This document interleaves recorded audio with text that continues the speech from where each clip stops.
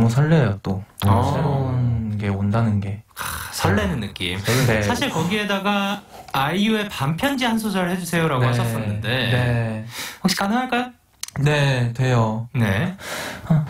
어, 난 파도가 머물던 모래 위에 적힌 글씨처럼 그대가 멀리 사라져 버릴 것 같아. 늘 그리워 그리워